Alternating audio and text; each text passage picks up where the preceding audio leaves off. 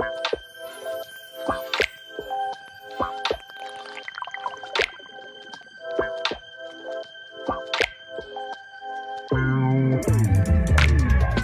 Welcome to the first ever video broadcast of Leverett Analytics. I am your host, Leverett KT, and y'all already know how we get down. This episode is going to be on the Carolina Panthers. Every once in a while, I do a video uh, podcast. I don't know how often I'll end up doing a video podcast, but once in a while, you know, it'll it'll be a treat. Um, a lot of y'all don't know. Well, some of y'all know that these podcasts go out to whatever streaming platforms that they on, like you know Apple Podcasts, uh, Spotify, uh, Google Podcasts, Amazon Music, uh, Tune in. It's on so many different uh, podcast platforms, but I also upload them to YouTube just because YouTube is like the biggest platform that there is. So I feel like it's pivotal to upload them to YouTube, and I've been getting a lot of love on YouTube. But want to give all of the YouTube followers um, kind of a treat just because it's always audio. They still show love regardless. So it's time to do one video. So on this episode, we're going to talk about the Carolina Panthers off-season playbook. The Carolina Panthers are a very interesting team. Um, that team has a special place in my heart because our head coach comes from the Carolina Panthers. Our GM, Brandon Beane, and I'm a Buffalo Bills fan for those of y'all who don't know, come from the Carolina Panthers, and we seem to have this relationship. You know, Kelvin Benjamin, when he got traded, you know, he got traded to the Buffalo Bills. So a lot of former Panthers players end up being Bills. It's just the way it goes uh, with Carolina and the Buffalo Bills. So let's get into it like we always do. We're going to talk about the Carolina Panthers' top five play, pay, uh, players pretty much on the cap this season uh, for the upcoming 2021 season. So we got Teddy Bridgewater. He's getting 22.9 million on the cap. You like, wow, 22.9 million. That's a lot of money, you know, for the production. But it's really not that bad when you look at how well quarterbacks are getting paid. For instance, also in the NFC South, uh, Matt Ryan is scheduled to make 41 million this year. So. be glad. Take that 22.9 million. I know on some mock drafts some mock drafts have the Carolina Panthers taking a quarterback, uh, but don't. Teddy Bridgewater just isn't d- done quite yet, so I think uh, Carolina fans. He, he's not as bad as you may think he is. He had a PFF grade of 66, not that great, 15 touchdowns, 11 interceptions. But let's put things into pers- perspective. Christian McCaffrey didn't play often this season, and while Mike Davis did do a, a, great job in replacing Christian McCaffrey uh, for the games that he didn't play, Christian McCaffrey helps a quarterback out so much uh, with catching a rock out of the backfield. He's a matchup nightmare. So it, will be nice to see uh, what Teddy Bridgewater can do with a full season of Christian McCaffrey. Uh, coming up as the number two top played Carolina Panthers, we got Kawann Short. He's getting 20.8 million a year. He had a PFF grade of 45.4. It's not really fair because he had a torn rotator cuff in week two of the season. So you're really looking at a game and a half of of of play to to get that forty uh, PFF grade. Uh, number three, so they, they got some decision decisions to make at twenty point eight million. Do they really want to keep that salary on the cap this year? You know, maybe they can restructure that contract, but that's a lot of money going to a player that barely paid last year. Coming up with the number three uh, highest paid Carolina Panther, we got Shaq Thompson. He's getting 14.1 million. He has a PFF grade of nine, uh, 49.8. He had, had 120 uh, total tackles this year, I believe 90 uh, solo and 20 assisted. That's not bad at all. He also had two forced fumbles. Uh, coming up at the fourth highest paid Carolina Panther is Christian McCaffrey it's like running backs is a dying breed in the NFL, but I feel like they got Christian McCaffrey for uh, contract was really solid uh, for him anyway, uh, for the organization as well. Uh, so his PFF grade was seventy five point five, and now he was injured for a lot of the season, so that's a pretty damn good uh, PFF grade considering that he didn't play much this year. And his cap number is 12.5 million. Uh, he had 225 yards and five touchdowns. And I want to say Mike Davis played excellent in replacing Christian McCaffrey. There's no, you know, full way of replacing Christian McCaffrey. I don't think there's any running back in NFL that can do what Christian McCaffrey can do. Closest maybe Alvin Kamara, maybe Dalvin Cook, because he runs the rock really well, but he's a matchup nightmare when when he starts running routes. I honestly thought coming into the NFL, it might be uh, to his detriment to play running back. I thought at his best position might have been receiver, and, and I was wrong. But Christian McCaffrey, uh, pedigree. We talk about pedigree all the time. Pedigree. His dad is Ed McCaffrey. It, that you can't run away from your DNA. Know that. Uh, coming up at number five, uh, highest paid Carolina Panthers. We got Matt Paradis. Um, their center, he's getting paid 10.3 million on the cap. Not bad at all. Had a PFF grade of 63.4. He played uh, 1,029 total stat, uh, snaps, one penalty, and he giving up three stack, uh, sacks. So let's look at the tail of the tape for the Carolina Panthers. One thing that jumps off the screen when I really evaluate this team is that they had eight games where they lost by one possession eight games. I'm telling you, this NFL, we're so quick as media, as analysts to say, oh, this team is sorry, this team is this, this team is that. But this game is a game of one possessions. If you can win one possession games, you can be a good team. Atlanta, they lost a lot of one possession games this year. Kansas City Chiefs won a lot of one possession games this year, and everybody's so quick to say, "Oh, well, Kansas City don't look the same." This game is about being able to win these close matchups. Eight one possession losses. What if they won four of those? Nine and seven instead of five and eleven. With an opportunity to go to the playoffs.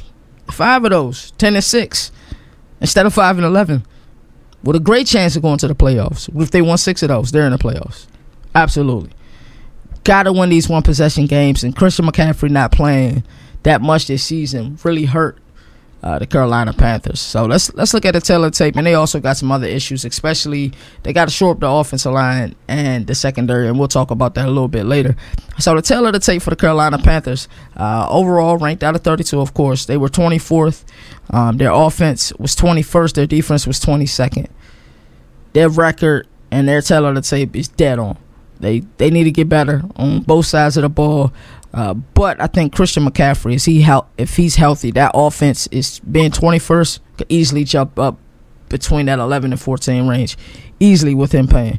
So coming up in this off season, projected they'll have about 17 million in cap space, which you can do a little bit with, um, especially if you structure uh, contracts in the right format. Um, and they have 9.1 million in dead cap. And dead cap, we talk about dead cap almost every episode. I thought it was interesting that they had 9.1 million in dead cap, and 7 million of which went to Luke Kuechly, who didn't even play this year. We got to do better as organizations with these contracts. Dead, I hate that number. Anything over five million in dead cap, something went wrong.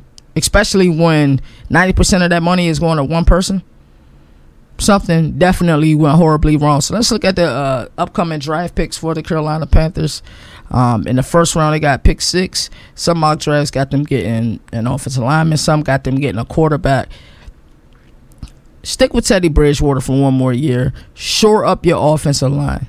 Uh, the second round, they got the 39th pick. In the fourth round, they got the 104th pick. In the fifth round, they got the 135th pick. In the sixth round, they got the 169th pick. In the seventh round, they got the 195th pick for a total of one, two, three, four, five, six picks. So they have to be really careful with their picks. They have to be really smart with their picks, and I think they'll figure things out. So looking at the Carolina Panthers uh, free agency, they got some decisions to make, and they're not going to be able to keep everybody. We know how free agency works. Uh, Mike Davis is a unrestricted free agent. He's 28. 28 is a weird number for running back. We know after a running back turns 30, it's it's almost like a grave for, for, for running back. So it'll be interesting to see what type of deal he gets. Wouldn't surprise me if he got like a two year, 15, 16 million dollar deal, and it probably won't be in Carolina. Curtis Samuel. It's an interesting thing because a lot of teams looking for speed, and Curtis Samuel definitely got that. I also feel like Curtis Samuel isn't used right at times. Um, I could I could just imagine somebody like uh, Eric Bieniemy slash Andy Reid had him in a way that they would use him, similar to how they use Mecole Hardman and Tyreek Hill. Uh, because he can carry the rock out of the backfield too. He actually did that a lot as a senior at Ohio State. He played running back quite often, and he was highly productive at it. But the marketed value for Curtis Samuel is around that four years, forty nine million, which averages out to uh, 12.4 million per year. And are the Panthers willing to pay that? I don't believe they are. Uh, I, I just don't see that happening, uh, especially with uh, DJ Moore and Robby Anderson. I don't see them taking on a, a salary like that. It just doesn't make sense. Uh, Russell Okung is also unrestricted free agent. John Miller is an unrestricted free agent. I'm just naming notables, but the one they I think their top priority top priority has to be Taylor Moot, uh, Moton or Mouton. I don't know how to say his last name. My apologies. But he had a PFF grade of 81.2. But his projected uh, marketed value, he's five years, 73 million, which averages out to be about 14.7 a year. That has to be their top priority. Um, he's young. He's only 26 years old. Uh, they they got to resign him and and I feel like he was one of the bright spots this year. On you know, a lot of people say uh, Carolina is a bad team, but they aren't a bad team. He was definitely the uh, bright spot on a bad, if you want to say bad team. All right, their 2021 schedule. I was looking at it. Uh, they finished third. I don't know if everybody knows quite how the schedules are structured, but they finished third in the NFC South. So their uh, opponents are kind of guaranteed based on your place. So they will play play the third team in the NFC East. They will play the third team in the NFC West. They will play the third team in the NFC North. So that's kind of how the the schedules are made out. And of course, they play one division in the AFC, and then they play their divisional opponents six times. So for their home games, they got the Atlanta Falcons, Tampa Bay Buccaneers, the Saints. They also play Philly at home. They got the uh, Washington football team at home. They got the New England Patriots at home, the New York Jets at home, and also the Minnesota Vikings at home. Away, they had the uh, Atlanta Falcons. They had the Bucks. They had the Saints. Also have the Buffalo uh, Bills. They got to travel to Buffalo. They got the Dallas Cowboys. They got to go to AT&T Stadium. They play the Miami Dolphins. They play the Giants, and they play the Arizona Cardinals. So their off season, the number one thing this team needs to do is get younger. The Carolina Panthers are the third oldest team in the NFL. That is scary. It's really scary. They have to get younger. That's the key for, for, for Matt Rhule and this organization this year. Get younger. It's no reason this team should be the third oldest team in the NFL. No reason they should be the third oldest team. I think that's a statistic I look at, and it is scary whenever I see something like that. If you're in the top five oldest teams, get younger. Number one. Number uh, two, as far as team needs, the way they should attack the draft, the offensive line is the number one priority. Um, they do have some pieces, but they will be losing Russell Okung. I, I, just don't foresee them signing him to a large contract. Taylor uh, Moton will definitely get paid this year. He's going to be looking at, like, like I said earlier, fourteen point seven million a year. Um, they got to show up their secondary as well. I think they will attack that via the draft. Uh, free agency gets tricky a lot of times the first thing we want to do is say free agency, free agency, free agency. We need to spend money. We need to do this. We need to do that. Free agency players are always overvalued. Their market value is higher than what it should be. So don't be so quick to jump on that free agency thing. Uh, also, they need to get quarterback insurance. Now that that don't mean take a quarterback in the first round. Don't even mean take a quarterback in the second round. But if you could take a quarterback in the fourth round with the 104th pick, kind of groom him I, I think that's kind of the, the what they need to do. Those first team uh, two picks need to be team needs. And I know some Carolina Panthers fans who disagree with me. Oh no, we got to take a quarterback with the sixth pick. Teddy Bridgewater, a healthy Christian McCaffrey uh, for most of the year, and, and see how well he does. Uh, that, uh, so the first pick offensive line, that second pick needs to be secondary absolutely has to be uh, secondary, whether it's a corner, and I think I would uh, say corner is more important for the Carolina Panthers than safety, but they definitely need some secondary help. And then also, uh, maybe backup running back insurance because it looks like uh, Mike Davis is definitely going to test free agency. Somebody is going to pay him. The Buffalo Bills might need to pay him because they, they couldn't run a rock at all this past season and you know about the Buffalo Bill and Carolina Panthers uh, connection. So I could definitely see Mike Mike Davis in a Buffalo Bills uniform, but he can he could also go to a, a number of, uh, of places. They also they definitely need to get a backup running back in one of them spots. Um, like I said, I don't see them doing that via free agency, but maybe the draft getting a, a backup running back. Uh, I expect this team to surprise some teams next year with with Drew Brees retiring. We don't know what Atlanta's going to do with Matt Ryan and Julio Jones. Uh, Tampa Bay Buccaneers. Yes, they're in the Super Bowl. It'll be interesting to see how well they play in the Super Bowl today. I think they can win, but they had some games this season. They just did not look good at all. They just did not look good. Um, and you know the, the twice against the Saints and uh, against the Bears, where Tom Brady didn't know that it was fourth down. They just had some games that they didn't they didn't it didn't look good. So Carolina Panthers is going to have some opportunities next year. They have to take advantage of them.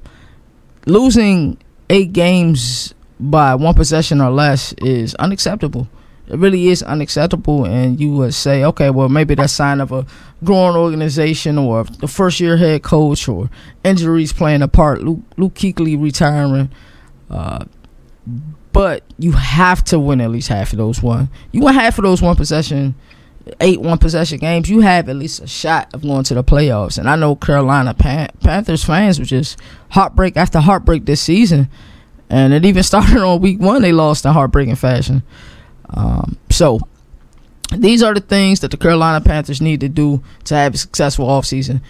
Number one, like as I said earlier, get younger. You have to get younger. Third oldest team in the NFL. There's no reason for that. Some of these old players, they got to go. My apologies. Number two, offensive line.